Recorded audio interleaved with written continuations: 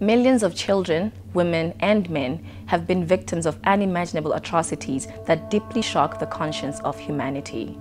To put an end to impunity for the perpetrators of these crimes. For the sake of present and future generations. To establish an independent, permanent international criminal court.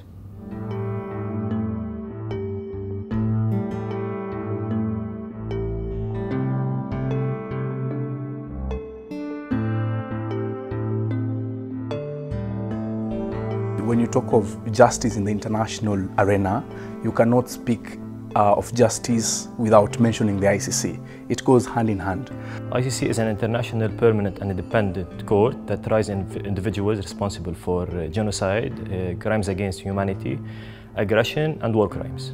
The court goes past the usual roadblocks that domestic courts would have and prosecutes the most powerful people that are usually responsible for the crimes. So where uh, states are unable or unwilling to prosecute those responsible for the most heinous crimes, the ICC comes in. I think sometimes people criticise the ICC because it's doing its job, because it is holding people accountable, and they don't like that.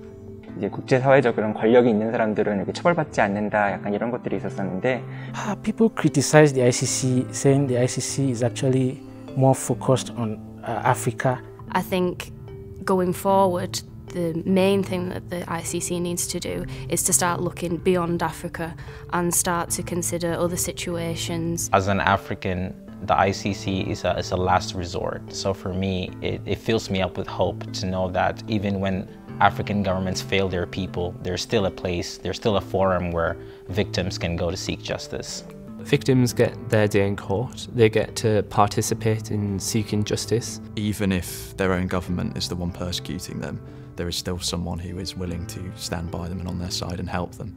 They've provided landmark judgments and whilst the progress is slow, it's still progress. المحكمة الجنائية الدولية دورها ما بيقتصر على المعاقبة على الجرائم السابقة اللي حصلت بينما أيضا دورها بيكون تكملة من خلالها تشكل رادع لعدم ارتكاب جرائم بالمستقبل. While you haven't got the certainty of a prosecution, you no longer have the certainty of impunity, and I think that's a really massive step forward.